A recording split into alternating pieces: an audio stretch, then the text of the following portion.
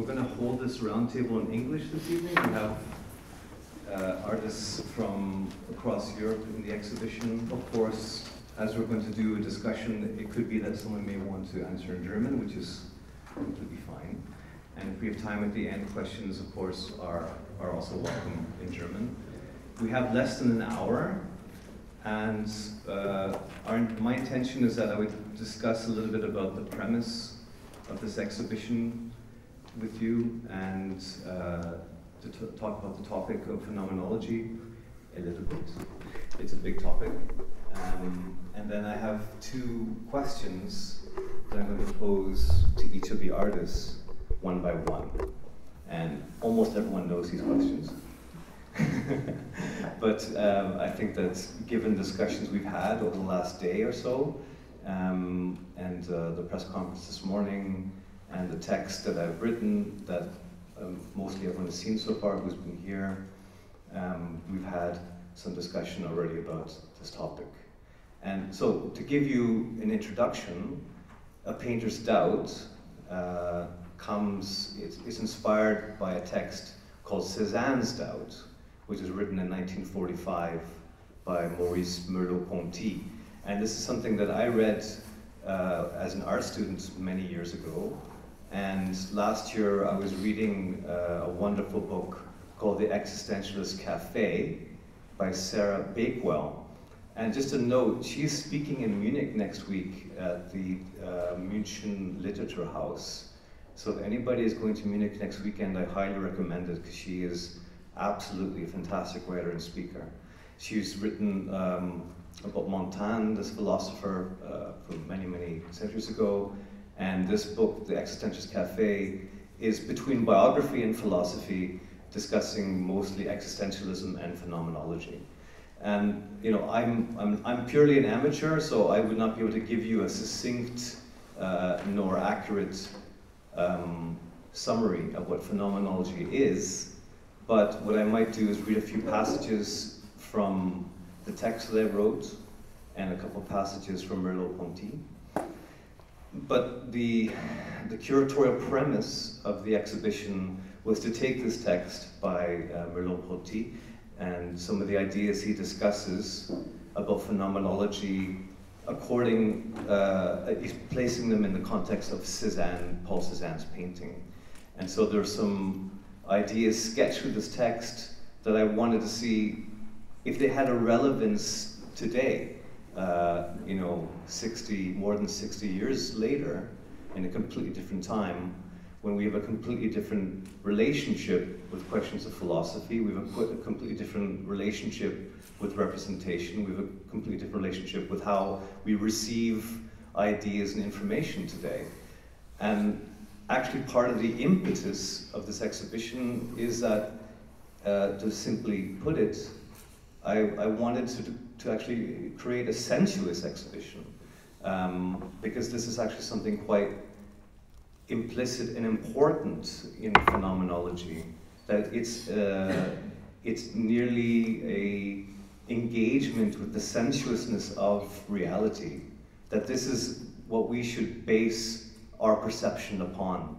In that there's no separation between ourselves as individuals and the space and time that we're immersed in.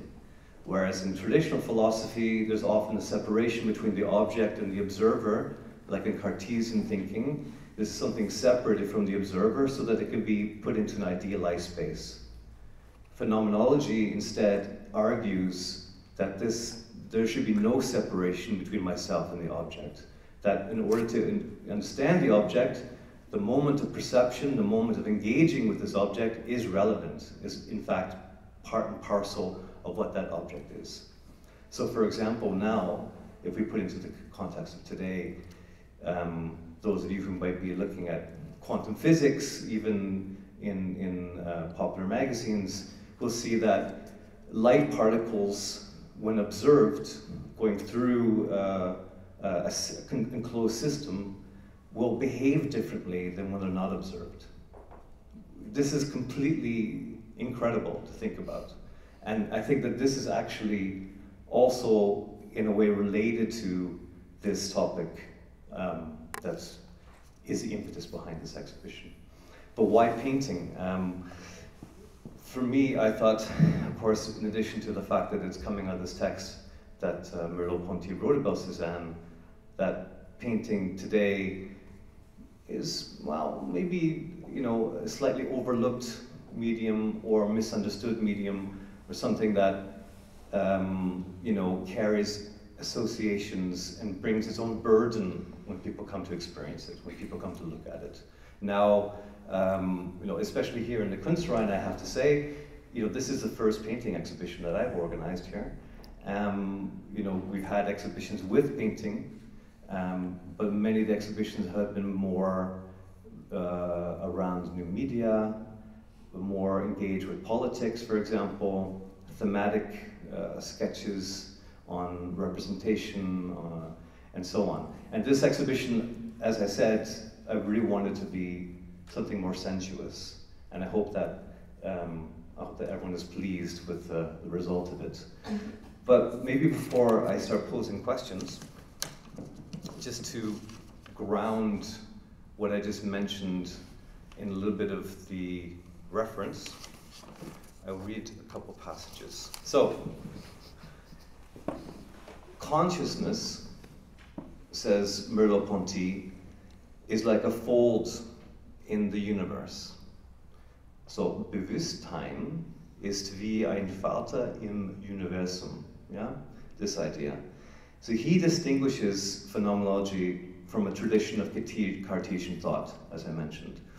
A Cartesian can believe that the existing world is not visible, that the only light is of the mind, and that all vision takes place in God. He opposes, this is Merleau-Ponty, the Cartesian view of representations of the world within the mind as intellectual accounts of objects. Uh, instead, Merleau-Ponty believes that we must cope with things as they are. Cope is, I think, quite an important word because it's not just a question of looking at something or perceiving something, is actually engaging in a multifaceted relationship to it. He sees them, he says that we must see them as they are rather than being separated from us. He speaks of a primordial openness to the world a pre-linguistic, pre-conceptual relationship without propositional content. Uh, propositional content would be, for example, when we are we come to understand something through our history of being told what it is. So when I meet someone, again, the history of my relationship to them or all of the assumptions that I had about this person or what I've been told all come to, to help me form my judgment of that person, to simplify. He says we should do without those things. You need to have a pure relationship to what you're experiencing. And this is why Cézanne's uh, painting was so important for Merleau-Ponty, for the artist captured the atmosphere of what surrounded him. So when Cézanne was painting, he's not merely representing a mountain, he's actually trying to reconstruct the space, the time, the moment, the sensuousness, the palpable feeling of that space, time, and the fact that he's painting it is like a, a mediation between himself and the mountain and the space. That it's all this activity captured in the picture. Does that make sense? I hope it does. Um, so he doesn't see himself separate for, from uh, the sensual reality that he's painting. Um, yeah. This here, I was going to read out about the biography of uh. But as I mentioned in the press conference this morning, um, you know, I've also felt in organizing the show, and I felt I feel often when making exhibitions that you know any exhibition could actually be called a curator's doubt because uh, you know it's our work, it's our job to bring together the work of of artists that's new, um, that hasn't yet been embossed with meaning or coined into some kind of uh, dialogue, and uh, hasn't been designated with particular ideas. So this line of phenomenological thinking that I'm sketching, uh, I think has an immediate kinship with the task of the curator in bringing together artists' works and trying to make some kind of collective meaning. And um, that's something that I hope at least is apparent. So, in any case, there is a text that's written. It's in English and it's in German. Uh, we have it in a brochure. If you're interested, you're welcome to, to read it. It's free. We're also printing a catalog. that should be available in the end of March. And that, at that occasion, uh, we'll be doing a uh, we'll be inviting Katrin Busch from University Berlin, uh, University Künste Berlin, to, to talk about phenomenology and contemporary art. She's a specialist, I am not. So I think, and that will be in German. So I hope that we, if you're interested, please come to that. Should we change the microphone, or is it? Uh, telephone. Telephone's off, please. So, to get to the heart of the matter, um, as I discussed uh, with almost everyone today, there, there are two kind of questions or statements from this text by Merleau-Ponty. Oh, text message.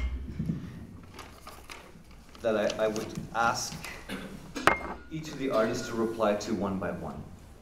Um, and the first one, and this is, this is literally from the text Cézanne's Doubt, is now it's, it's more of a statement, and i have asked each painter to respond to the statement in, in accordance with their own work. And Kirsi, I thought we'd start with you actually.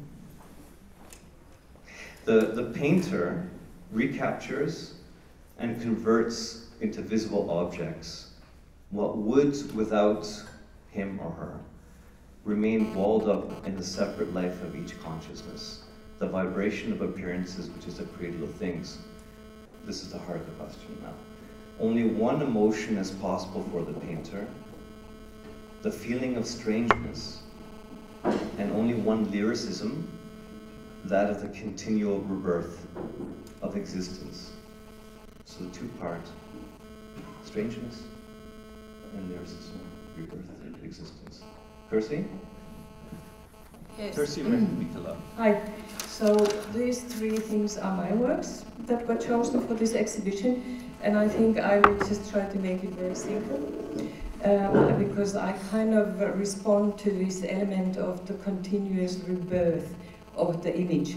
Because I think that if you look at my works, which are constructed from little things, I, I think they are sort of feats of engineering in a certain way.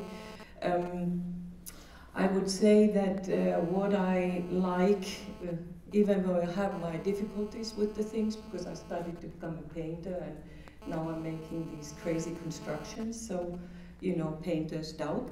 But, uh, but what I like is that uh, they are in a perpetual movement and, and I think in a perpetual rebirthing process so that they never settle. And, uh, and, and I kind of like that because uh, they are in a way, um, um, uh, in a way sort of appearances of the mind and how it kind of tries to construct an image out of um, out of phenomena. I mean, I, I'm very interested in this, uh, this idea of this uh, lyricism also because I did decide that yes, they will be paintings, they will be squares, and they will be just there. I mean, it would be kind of bombastically possible to make an installation with them and, and take them into a huge space but I love the fact that you know the picture has the, the possibility to to take you in. And if you really give yourself I, I say myself as the artist, if I give myself the opportunity to, to collaborate with these propositions for long enough, then my hope is that something will reveal itself that has some kind of uh, some kind of uh, depth that that has this uh, this phenomenological, if I may say so, aspiration that goes beyond the sort of immediate satisfaction of of of having the painterly surface in front of me. I would like the idea to be that one the mind becomes embroiled in the image and has a long time to travel in it. I mean, you know, if you were living with one, that this would be what it would kind of want to offer in terms of uh, in terms of uh, engagement and and I think that um, uh, that if, if you if you start looking at them and you you have a little bit of time to spend with them then maybe you you you find your mind to be kind of getting into this not a tangle i mean it's not a chaos but uh, you know into these sort of propositions of all the possible things that can happen between the the space and the color and and um, and so forth and so on. Now, I, I hope I answered a little bit the question. Um, I, I tried to make it from my personal point of view in a very kind of broad way. Perfect. Yep. Thanks, Kirsi. So Daniel, do you want me to repeat the question to you? Oh, no. You remember it, don't you? Uh, Daniel yeah. Keating. I will, I will answer also different way. So now I, uh, I, I love to describe also a little bit the process of working because I think it's the best answer to this. And I've been always uh, interested in a, in a, in a space in painting and time, like two uh, topics. And uh, I, if I want to describe my work, so it's a little bit like a, recon- deconstruction and a reconstruction of something. It means that I have probably some personal image, uh, like like photography, whatever, or it used to be, for example, film image in my last work, uh, earlier work. And uh, I took this image and I somehow destroy it in the way of uh, deconstruct it. And uh, then I tried to rebuild a new space and a new uh, image, but using this sign of the old image. It's a little bit complicated, but if you will have a look at my older work, so it's gonna be clear for you. And um, of course, I am trying to to get rid of uh, this uh, uh, this border between me and the object. So uh, that's probably that's why I decided to to work with the live models in my last work. So you can see behind me, and uh, I started to make this paper models and uh, because what I can do is that I can change the model in front of me and I can uh, paint it in the same time. So it doesn't fit well, so I can change the model immediately and change the colors and whatever. So the other thing is, which is important for me, that uh, the question of light and uh, probably uh, that uh, the mind, that the light is coming from you as observers, if you have a look. So usually it's uh, going into the depth, in, into the darkness, and the light is coming from your side. So it's like that you, if you uh, have a lamp and you go into the dark room and you will, uh, you will make it lighter, so you will see something there for a moment. And uh, the, the other part of the question is that, well, uh, maybe that uh, why, the, the, question why I do it, right? That's the question. Uh, if I feel like a stranger and uh, why I need to do it. So this is a real hard question I, I cannot explain, but probably it's the feeling of strangeness that you want to do reconstruction of the world which surround you to make it more familiar to you and to other people. So, okay. Thank you, Daniel. So, should I repeat the question? Are you ready? think I'm ready. Tanya, Um, hi, um, my work's in the back of this pavilion there, so you can look at it later. Um, I think what I'm really responding to in this question is strangeness, really. Um, because, okay, I'm also going to talk about my process a little bit, because I guess it does make sense. Um, I draw a lot from digital imagery or digitalized imagery, so basically, I go online and find images that I find interesting, and then I try to draw out the elements that I find really interesting or weird, and then I just start putting them on canvas. So there's no kind of mediation in between, I just start painting basically. Um, and then I kind of just layer them up, and the canvas gets filled up with all these elements that kind of relate to each other in a little bit of a narrative context, I guess, but the narrative is only visible to me as the one who's working on those paintings, I guess. And I think the strangeness of the process is really important to me in a way because then while I'm working on those paintings, I always take a step back and the painting becomes a total stranger. And then that's where it gets interesting for me because then actually something's happened that I wasn't expecting.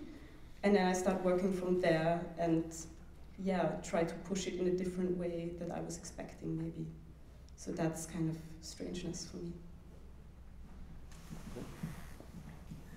Great, and so Anna Bjerger. Uh, yeah, I'm. Uh, my works, uh, there's five paintings there, and um, I think um, when I think about the strangeness, um,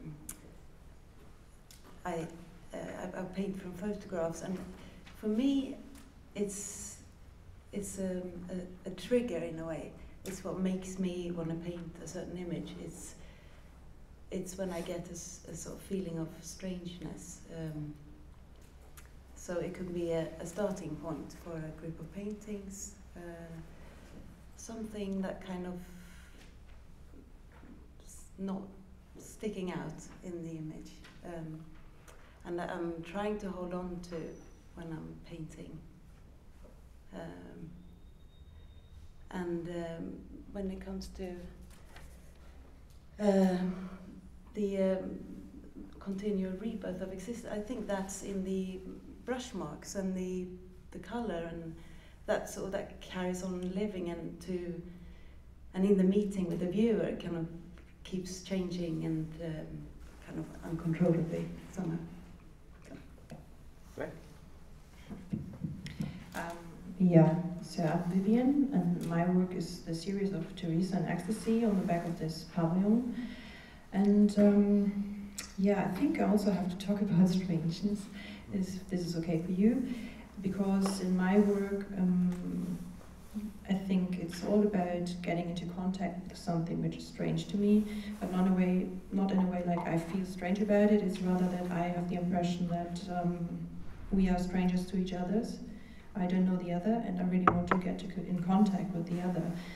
And in my paintings, I try to figure that out to get as close as possible to the other. And the painting is personification, maybe, of the other. And this is the Teresa, the Teresa series, so Teresa is maybe a symbol for the other, um, another person, which is Teresa in this case.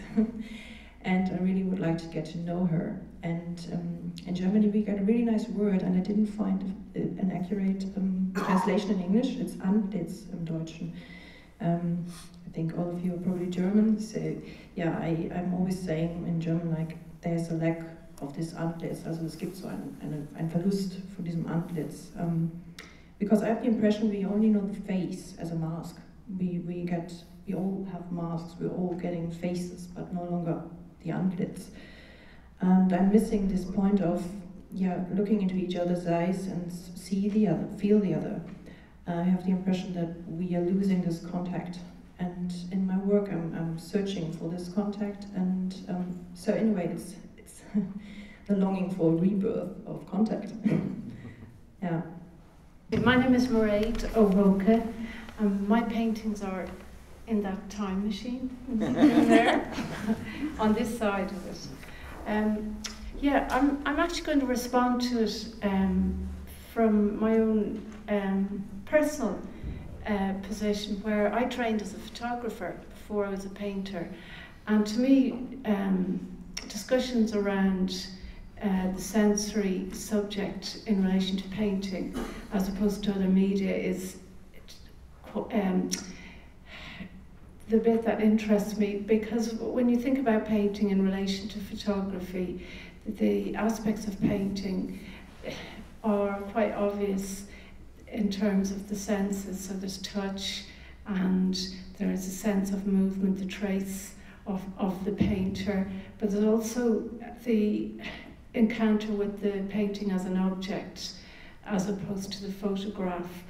Um, for me, excuse me, what, what interests me about painting is that it seems to be a resistance to the reality consensus that lens-based media um, create, and um, the rebirth, um, the rebirth of existence, I think, is something really seductive to painters, where they can reclaim uh, an aspect of living and represent it on their own terms. So when I think about that phrase, it, it does resonate. You're getting to take back control to a certain extent. And the strangeness is that you, you, you generally you will stand back, and I agree with the others when you are confronted with that strangeness as it appears in front of you.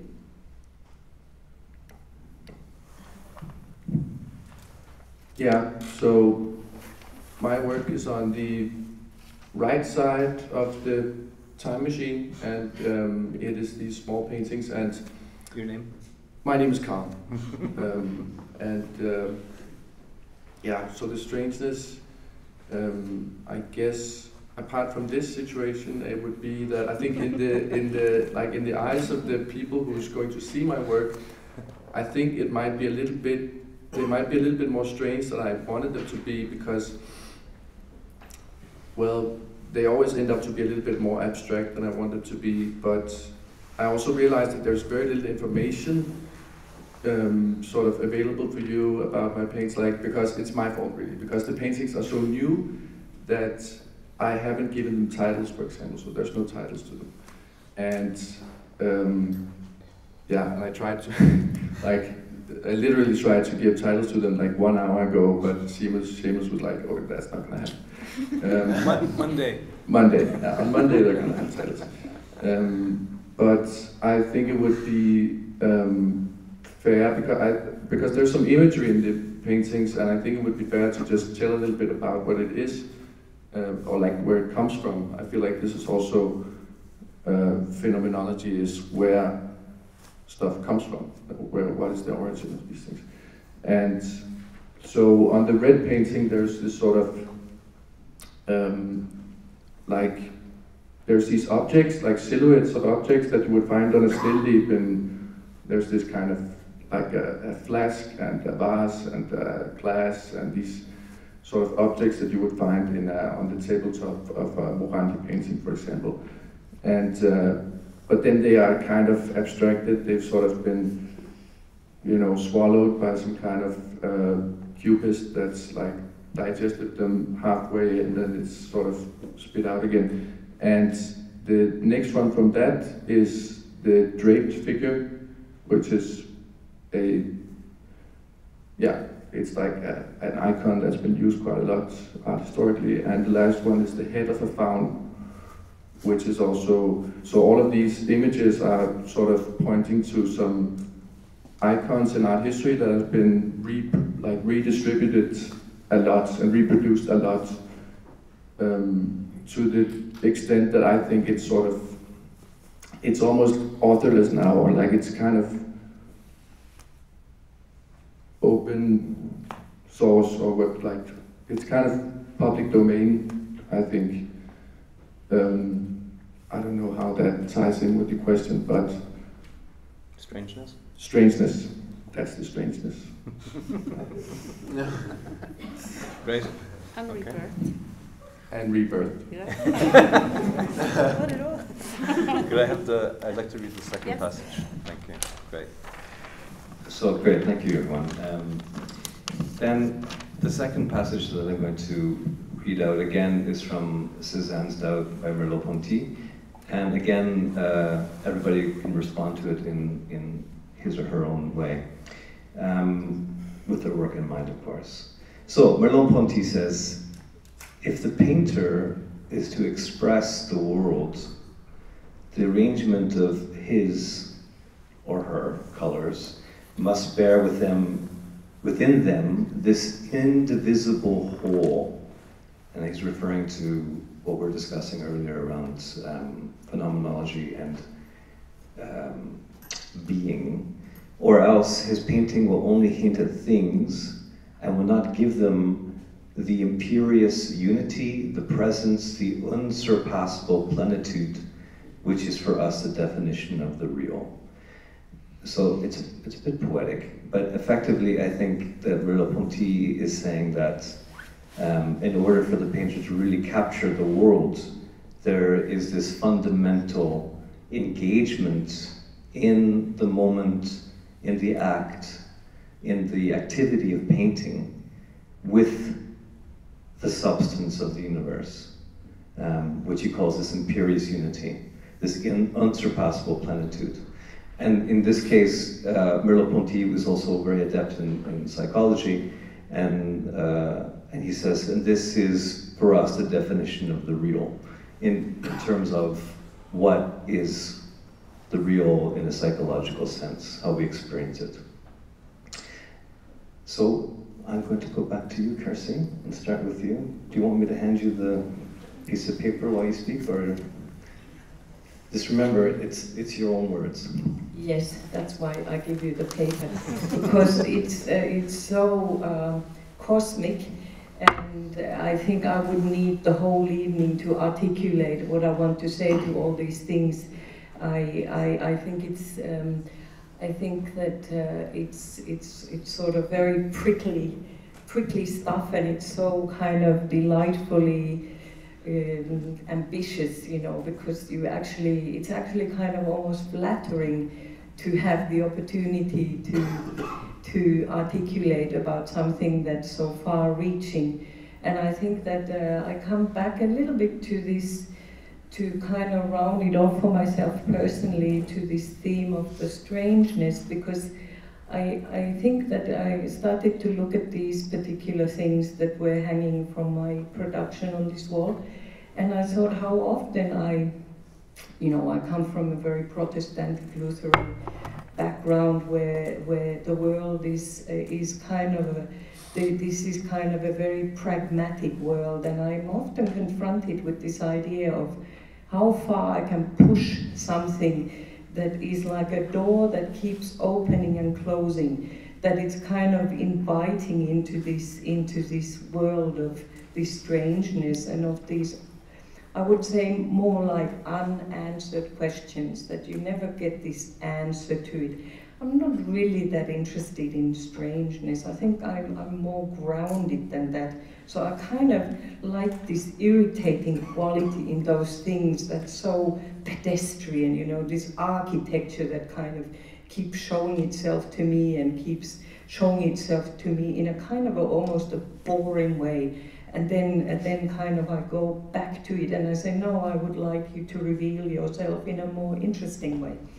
And I think that um, uh, sometimes I think it's a little bit my pitfall and my weakness that I'm not able to relieve myself from this to to be so utterly poetic and metaphysical.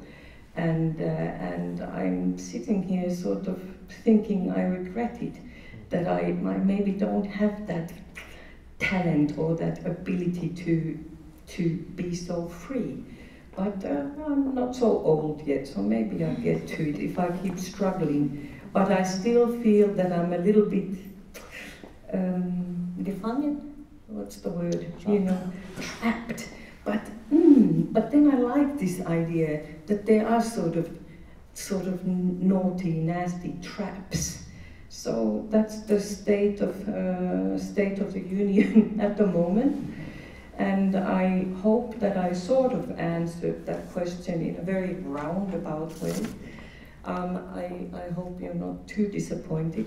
But, uh, but I think that, uh, you know, this is something like when I hear this, I just kind of think, oh, I wish I could go there. I wish I could be so grand. But I, I can't. I'm, I'm, I kind of um, think I'm a little bit. Well, I think then I'm confronted with my own limitations. But then, if you are aspiring to be an artist, you're actually taking this outrageous notion that you have this unlimitation at your disposal. I mean, which is why a lot of people hate artists because, you know, it's like, who do you think you are? You think you have this freedom. Well, you know, I think why I like this exhibition and I'm, why I'm very happy to be a part of it is that it's, it's kind of delivering this outrageous proposition as if we really had this uh, this kind of um, power in our hands. And I must say, I find that the, that the kind of driving force in my own engagement with art. And I hope I live long enough so that I can, I can, at least when I die, I can think, okay, I made the effort, and maybe I can see a few pictures that got there. okay. Thanks, Chris. Oh yeah, uh, I would sign. I would sign what you said now, and uh, don't know what to say more because my situation is a little bit similar, uh, very similar, and uh, yeah, this is uh, the question. Um, I didn't allow myself so much think about this kind of question because if I'm full of some metaphysical topics and I would like to reveal my paintings to be a little bit higher, so after that I do a lot of uh, bad paintings. And uh, on the other hand, if uh, I'm just concentrated and I'm focused on something like very simple thing, like for example, if I say to myself, okay, be uh, focus on light or in simple object. And if I am able to keep the concentration, so then there are some moments I have that feeling that the painting is getting a little bit to another position. I don't want to say metaphysical position, but something happened in the process. And it's a very nice feeling, uh, and maybe that's the reason why I paint that, that time after time I get into this situation that I have that feeling that I am a little bit getting out of the material, out of this uh, process, and it's becoming kind of harmony or whatever I would say. But it sounds crazy, like it's, uh, it's better don't describe it, and it's, uh, I said to myself, it's better to speak about the form and things I can speak, about the topics, about these kind of things because uh, most of the time I'm struggling and uh, I'm not catching this aim and this uh, metaphysical levels. But on the other hand, be just in the form and just in the matter without having this wish to go there. So it can be boring as well. So I think we are a little bit between spaces. Thanks, Daniel. Tanya. I mean, ever since you showed me this quote, like, I don't know, an hour ago, I've been thinking about how to respond to this, and I'm still unsure because it's like this amazing compliment to painters and painting, like condensing the whole of the universe onto this rectangular canvas. And yeah, I mean, it would be amazing if it felt like that, but usually it doesn't really when you're working on a painting. so yeah, I'm still not really sure what to say about it, really. So and do you think, I mean, do you not think that this text, remember, is called Cézanne's Doubt? Mm. So Cézanne probably also would have responded in a similar way, maybe even rejected this. Probably, yeah. Right. so. Yeah. okay, uh, uh, the way I read this, uh, if I apply it to myself, um, I think I can relate to it as I I make my paintings in one go. So I don't have a break usually, uh, and I it's, it's, it, I have to be present. I have to be um, focused, and I can I can only I mean I, I can't come back the next day and change things or because then I'm no longer objective either. So in that sense, I think um, a certain meditative uh, mood. I think I, I'm in when I'm painting, and uh, that's kind of yeah, it's it's essential to to my practice. Thank you. Um, yeah, for me, I really like. Um, yeah, I really like to see myself as kind of a. I don't know the English word, but maybe you can help me. Dienstleister. Dienstleister. Dienstleistung. Dienstleister. Service. Yeah, like service. yeah. Like uh, me being a service for for the painting. Um, um, I, this helps me to to stand this pressure of doing this. because I, I really like the moment when the painting becomes the subject and I can say, okay, I do it because I hear that you want me doing it.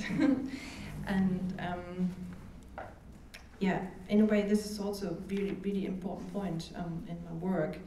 Who is the object and who's the subject? We were talking, or you were talking about this beforehand, because I really like that when the painting stays kind of a subject that when it's possible for me to get a vis-a-vis contact to the to the painting and that the painting is telling something I didn't know and um, that's also in my work I think really um, yeah it's really sensuousness it's, it's it has to be haptical because I want to have a painting you definitely want to touch um, I think then it works and when I'm in the studio, this is a hard, hard way to get to this point. point, and it's always, and I mean, it's not almost, oh, I don't know, English is difficult for me today. It's not always possible to have this situation. We are really fighting, the painting and me. um, but when I see myself in service of it, I really like to do it, and I really like the fight as well. But yeah, sometimes it can be really depressive and boring. And yeah, it's also about focus, what you said. I think it's quite a lot of work to every day to be focused and to stay in my middle of my being. So I have to really sleep, do my sports, eat properly, to have the, the spirit very clear, to understand what's going on and what I have to do. Yeah. Okay, thank you. Um, the bit that sticks out for me is the beginning bit, if the painter is to express the world. And it is ambitious in its premise, but I also think it's interesting in terms of the date. It's about 1940 something. 45. 45. Um, and he's talking about Cézanne, and actually Cézanne had very um, ambitious plans and expectations for his work, and his intention was to express the world, or certainly natural phenomenon he was looking at and a means of expressing the sensory apprehension of nature through painting. And he was totally committed to this. And when I think about contemporary painting, I don't hear of any very many artists with grand ambitions to express the world or capture the world or anything on a par with what Cézanne hoped to achieve. So I, I don't want to capture or express the world, and I don't think very many painters have that ability. I think the point of making paintings is to have a tactile and physical um, relationship with their own negotiation of the world. And it's more of a modest claim than anything I can relate to here in this writing. of the answers. Yeah, I, I agree with you pretty much. I mean, I I I, uh, I don't think yeah I don't think of uh, yeah about the you know capturing all of the world or broadening the world or to me it's almost like the like to me it's like it's almost like condensing all of this all of these skeletons in the closet like in the painting closet you know kind of it's almost like a, uh, I, I kind of get a kick out of trying to regress and trying to like provoke this kind of recession in painting where it almost just becomes kind of like a dead loop. And having all of these old, you know, icons reappear again and it's kind of like pressing blood from a stone, you know, it's not, we're not really getting anywhere. It's not, it's not charity work, you know, it's like, it's pretty, it's pretty tough. Um, but yeah, what else was this in the Yeah, I'm gonna pass on the rest of the question. Okay. Great. Thank you, Carl. So, um, to wrap it up, I want to thank everybody here um, on the roundtable for your discussion. I think what for me is uh, a wonderful opportunity to do is to talk about some of the, these ideas and hear artists, uh, spe specifically in this context, painters speak about that. I think is something that um, is valuable and important for us. And of course, in, in each case, it's, it's a different answer. But We see some harmonies in, in people's approach to it. And uh, I also want to thank each of you personally for working with me. It's been a delight to work with you on the show. And thank you all for your Aufmerksamkeit. Thank you.